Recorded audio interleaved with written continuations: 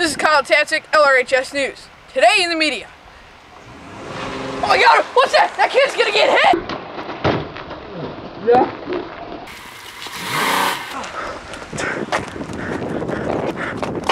He just saved your life! What do you have to say about this? Uh, I was looking for my car.